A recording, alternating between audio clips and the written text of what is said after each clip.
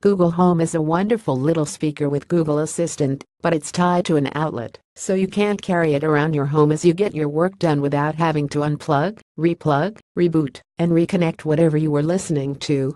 And yeah, you can get Google Assistant everywhere with your phone, but Google Assistant is more robust on Google Home than it is anywhere else, especially when it comes to music and playback controls.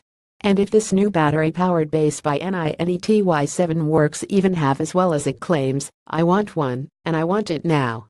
Loft for Google Home is essentially a third-party metal Google Home base, being held in place by magnets like the regular home bases, and charging with the same Google Home power adapter. Loft is supposed to sport a 6-hour battery life, while off that original Google Home power adapter, which isn't mind-blowing, but for a base this small, I'm not sure how much more you could squeeze in there. As you can see, the Loft isn't a massive base, and its design blends quite well with Google Home, with a white base and a metal speaker grill that matches the original three metal home bases offered by Google.